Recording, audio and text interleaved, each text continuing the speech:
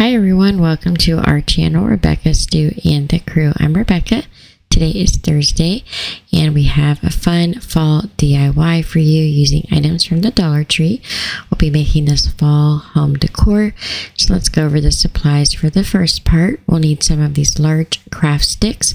We'll also need a wood thankful sign. If you can't find one of those, you could use one of the metal words that they have out right now. Some of the miniature pumpkins and one of the small wood pumpkin clips. We'll also need some wood stain. They have this gel stain out right now, some different floral of your choice. And then we'll also be using one of these cat scratch pieces and these wedding reception signs. We're also going to need some paint. I'll be using light blue and white and then you'll need some different paint brushes, scissors, and possibly even a pencil and a razor blade. So let's get crafty. So the first thing we're going to do is take these signs that are meant for a wedding reception. I have four different ones. And what I did is I pulled the little stands off the back. They just pop right off. And then I'm going to lay them even across the bottom of a strip of paper to help me line them up. And then I'm going to take the medium sized craft sticks and place those in between so that I have a nice spacing between the arrows. Then I take my extra large craft sticks and I lay those across the bottom to measure off where I'm going to cut these to make them a straight line instead of the sticks with the curves around the edges. So I just mark that off with a pencil and then cut through those with a pair of scissors. Now it's wide enough that I did need to use two craft sticks and we'll do the same thing for the top. We'll make a second set of crossbars for the top of what's going to be a fence. So to do that, I just pulled the first set that I made off and I just used my pencil and lined them up on top of each other, marked them, and that cut those down to size.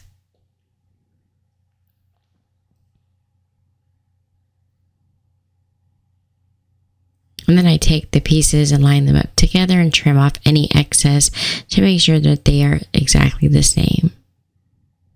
So now what we're going to do is just go over our arrows that we pulled the backs off of with some white chalk paint. You can use some acrylic paint that will do as well. Any color paint will work here. And we are going to make this look a little bit darker and aged um, once this dries. So don't worry too much about being able to see the words through the paint. I did end up doing two coats of paint with the chalk paint, but um, like I said, we're going to age this, so it's not really necessary to worry too much about a little bit of the color of the word shining through. So I did paint all four arrows with the white paint and I did um, do two coats of paint. And then for the crossbars, which we made out of these large craft sticks, we are just going to paint the front and make sure you paint the edges as well because you will see the edges, but you don't need to paint the back.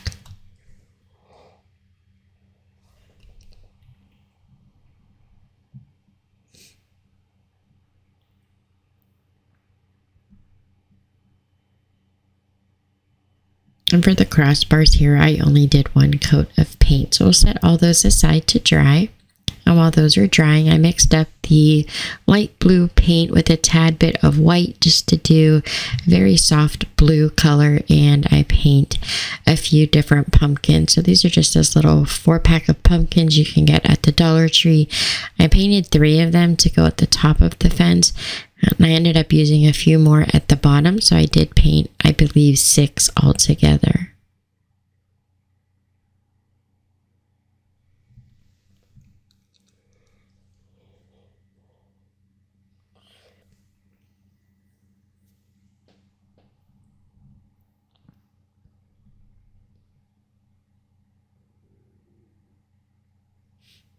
So I used all six of the mini pumpkins and painted them all the same color.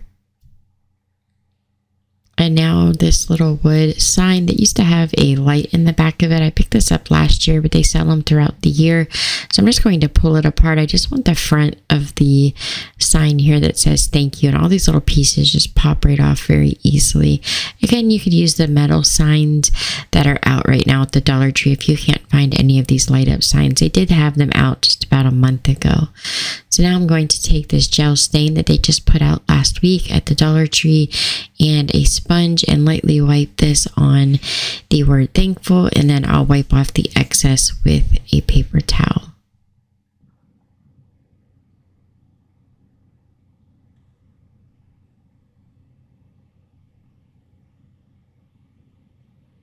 I just work in small sections, dabbing on just a very small amount of the gel stain. And then once I have it covered fairly well, I will just wipe any excess off with a dry paper towel.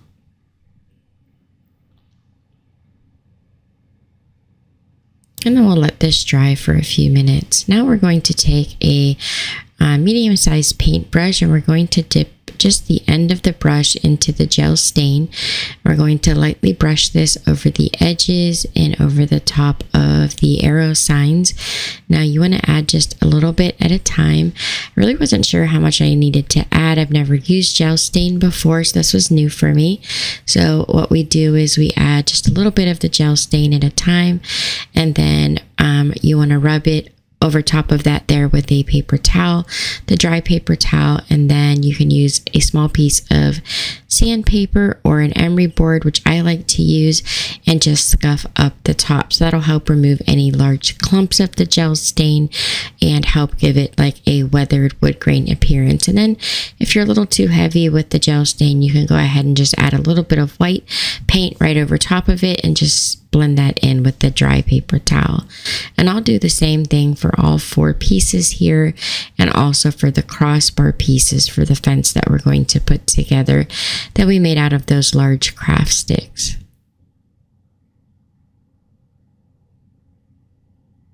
As you can see, the emery board here really helps to scuff it up and give it a weathered wood grain like appearance.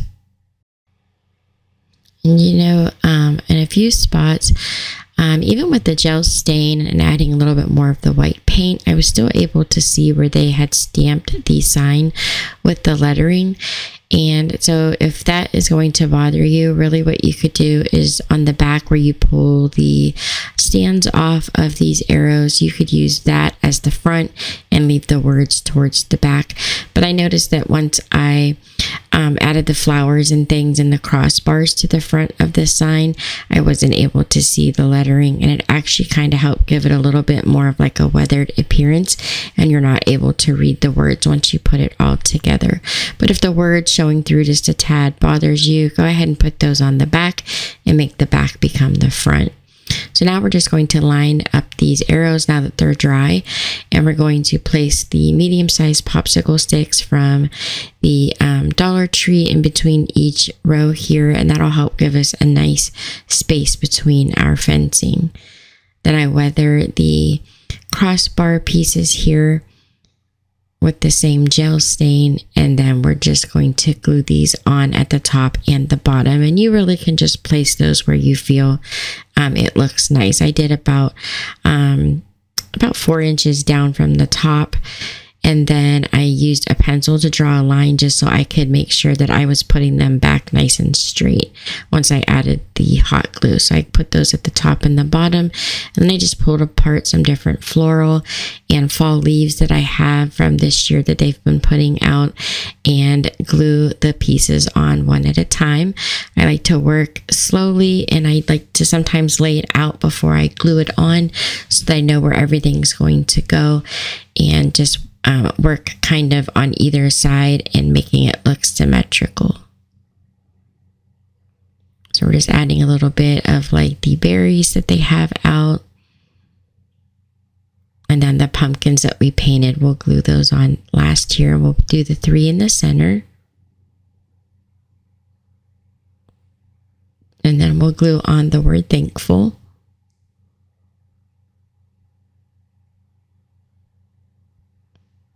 And on those little crossbars, I made little fake nail marks just with a brown Sharpie. So now we're taking that scratch, um, that cat scratch pad that you can get at the Dollar Tree. We're going to measure that so it's the same length as the fence that we just made and cut off the excess. And then I just trimmed down the um, medium size craft sticks from the Dollar Tree so that they will fit um, all the way across the front of the cat scratch board. And then I cut quite a bit of them. I think I did about 20 and that will be enough to go all the way across the top. And I also cut some of the sticks so they'll go across the front edge and the sides on the edge. And then we're just going to take hot glue and glue these all the way across the top We'll do the front edge and the sides and don't throw away those rounded pieces that you cut off to create these straight edge pieces because we're going to use those to create a nice scalloped edge around our um, little shelf here that we're making. So I have it all glued on and then I cut all those rounded edge pieces to be the same length and then I just glue those all the way around the edge of the shelf.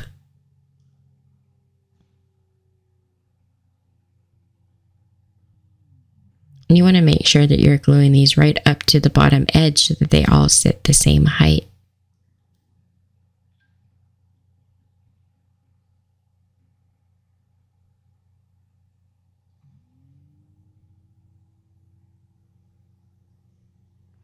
When I got to the end of the front here, it was just a tad bit wider than I needed uh, the last stick to be. So once I glued the last one on, I just trimmed the edge with a pair of scissors.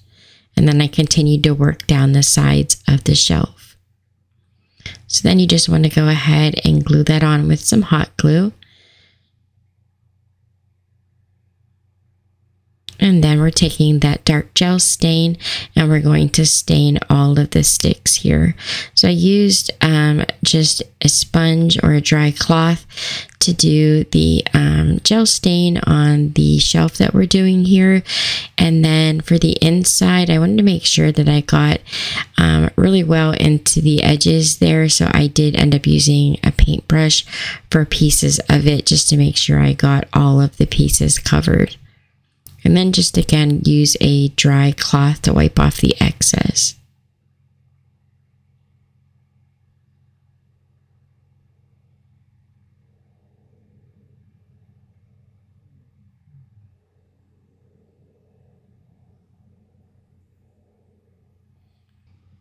And so here's what it looks like finished on the front with all of the wood stain done. And then I added some crossbars on the back just to give it some extra support. I glued those on in the same spot as the crossbars in the front. And then I just painted the whole entire thing black on the back just to give it a nice finished look and I could set it anywhere. So now let's go over the supplies for part two, which is our scarecrow. We're going to use a few of these small little pumpkins. You get those at the Dollar Tree. One of these wood pumpkins and then we'll also need some ribbon or larger burlap ribbon, some straw. I'm also going to use some of their floral wire and their burlap for a hat and then the lid to a soda bottle or water bottle. For the hat, we'll also need some twine and paint for the face. So we're going to take this little straw hay bale uh, from the Dollar Tree and we're going to measure two sides and then about two inches past um, and then we'll do two pieces the same length. Those are going to become the legs or the overalls for our scarecrow. So you're just going to fold over the bottom edge twice and then glue that down and that will become the cuff of the pants. So then we'll fold each side of the burlap ribbon towards the center and we'll add just a little dot of glue at the bottom to hold the pant leg closed. And if you want to, you can clip these with a, a uh, like or something just to help hold it closed while it dries. And then we'll do the same to the second pant leg. Again, just adding a little dot of glue to the bottom edge. So then we'll put it back on the hay bale to measure where the foot, the knee, and then where the waist will be. Mark where the waist will be, and that's where you're going to glue the pant leg closed at. So we're just putting a dot of hot glue at that line. And then at the top here, we're going to glue these two pant legs together. And this is going to create the top portion of the overalls. So as you can see, we have the top portion and then the two pant legs. Now we're going to cut that floral wire from the Dollar Tree long enough to go all the way through the pant leg and up to the top of the overall. And you're just going to weave this in. Now we did glue the waist closed, so you might need to pop the wire out of the bottom of that burlap and then back in at the top. As you can see here, that's what I did. I have a little piece of wire sticking out in the back. But you're not going to see that because that's going to be glued down to the hay bale. You're just going to continue to fish the wire in on the second piece. So you have the wire on both legs. And then we'll cut just a simple um, like rectangle at the top here and fold that back and glue that down. And that will create the top of the overalls. And then we have the straps here. You might need to glue those closed so they'll stay together and I cut out a little um, pocket out of the burlap ribbon, the brown burlap ribbon, and I glued that onto the top and I made two patches for the legs. And I just attached that with some hot glue.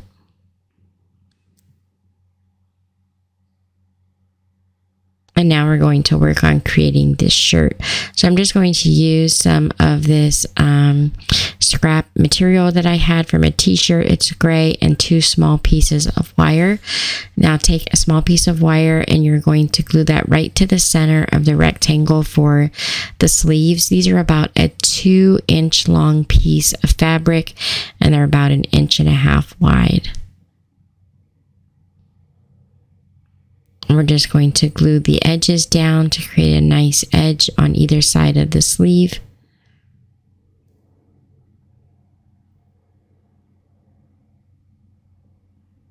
And then we'll fold this down one more time to cover up that piece of wire in the center.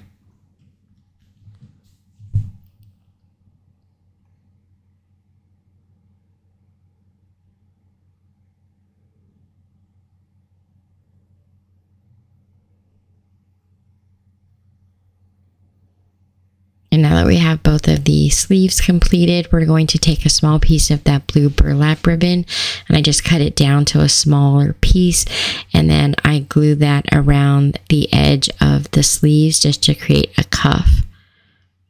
And this will be so that I can use that little opening there. Um, I'll be able to stick some straw in the end of the arms so it looks like he has hay coming out or straw coming out of his arms and legs. So you just want to wrap that little piece of ribbon around with some hot glue. But leave that bottom edge free so that you can stick a little bit of the straw up inside there. But you just want to add a tiny bit of hot glue. And then cut off any excess that you may have.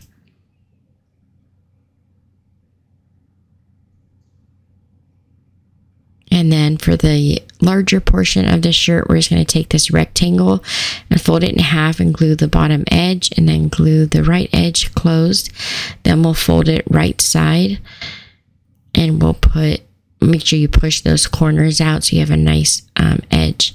Then just fold in that other edge and glue that closed. Just making a little square here. Now on the back of the overalls, you're going to glue one arm to either side of the straps of the overalls. Then flip it over and then you'll tuck that shirt down, make sure it fits right. And then if it does, just go ahead and add the hot glue and then attach it to the back of the overalls. You just want to make sure before you glue it down that you don't have it too wide and it fits behind the overalls. And then you can go ahead and bend your arms any way you like. And then we're going to add that straw to the um, hands and feet area. We're just going to twist a few pieces together, trim off any excess if it's too long, and then add just a little dot of hot glue up inside of the legs and the arms and put the hay up inside of those so that it looks like it's coming out of the feet and out of the sleeves. I added a few patches and put a few um, pieces of straw coming out of the patches so it looked like it was kind of like you know a ratty looking overalls so then we'll add some straw around the neck area as well. Now we're going to paint or draw on the scarecrow face. The first thing you want to do is you just want to paint one of these wood pumpkin clips from the dollar tree um, I'm just going to paint that with um, light mocha or like a linen color paint, and that'll help it look like a burlap sack for the face. And for the face, I ended up using Sharpie markers to draw the details of the face. It's such a small pumpkin, it was just easier to do a nice detailed face without having to try to be very meticulous with a small paintbrush.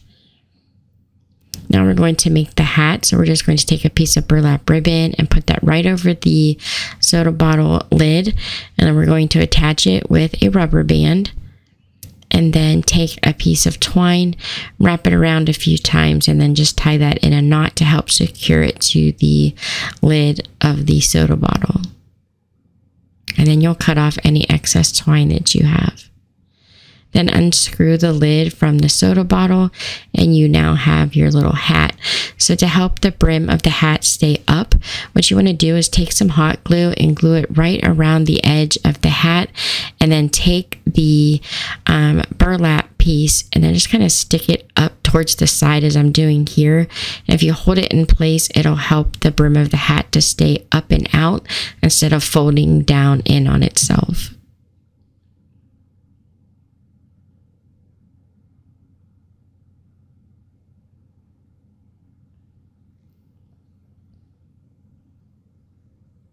And you can add some extra details to the hat if you like. I just added a little bit of the blue burlap to make it look like patches on the hat.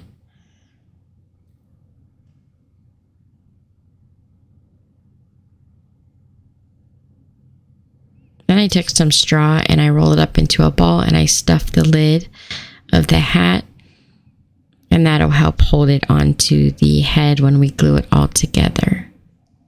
Plus it looks like he has straw coming out of the hat, which is fun. So then once we have that all done, um, just add a little bit more hot glue and make sure you have enough straw so that it will stick out around the face.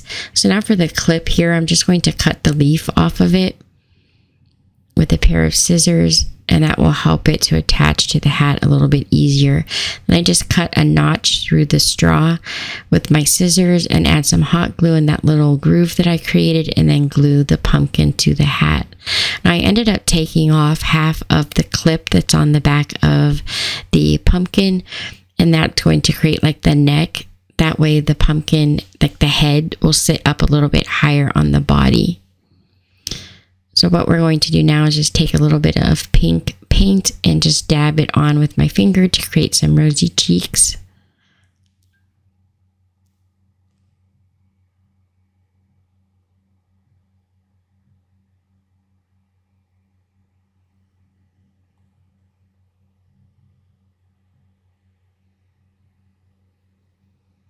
And then using the black Sharpie, I'm just going to draw on some stitching type patterns for the mouth, the nose, and the eyes. And then I did take a Dollar Tree metallic white marker that they have out several times a year. And I'm going to add a few highlights to the eyes and the nose and the mouth.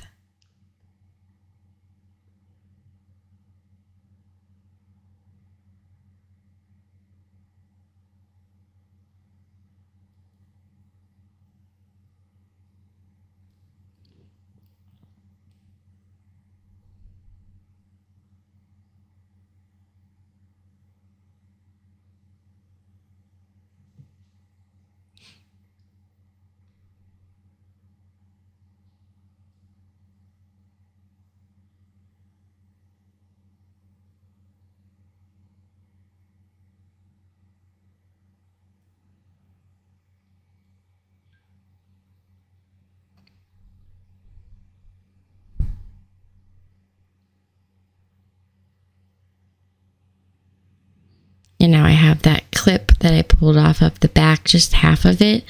That's what I'm going to glue onto the back of the scarecrow.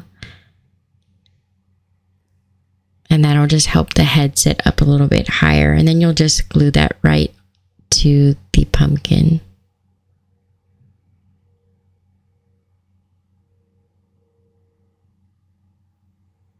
Here's the head. As you can see, it sits a little bit higher with the straw under the neck. It looks really cute that way.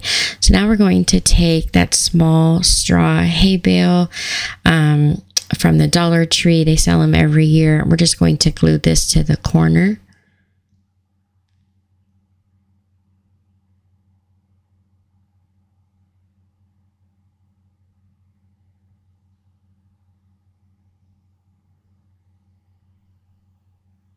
We'll glue the scarecrow onto the hay bale and you can adjust him any way you like and make sure you adjust the arms so that they sit right.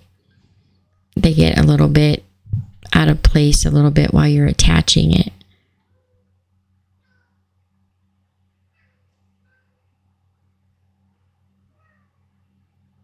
And then take your floral and add some more floral and pumpkins to the bottom just like we did at the top. And then I added a few of those small pumpkin seeds um, to add some extra color in detail. And I had a few um, sitting with the scarecrow and on the hay bale. And this is the whole thing all put together. There's lots of pieces, but it's a lot of fun to make. If you don't add the scarecrow, it actually comes together a little bit easier, and a little bit quicker. But I wanted to make sure I gave lots of instruction of how to make the scarecrow, which kind of made the video a little bit longer than it would have been. I just wanted to make sure it was clear how to make him. And so this is the whole thing all done. I love how it turned out. I hope you guys do too. If you guys like these DIY videos, I post them every Thursday. I try to use mainly items from the Dollar Tree. There's quite a few different fall ones that we have out already this year. And then there's lots of other crafting DIY videos that we have done throughout the year that you might also enjoy. And then every Friday, I post what is new for the week at the Dollar Tree. Don't forget to subscribe, like, and share. Thank you so much for watching, and I'll see you next time.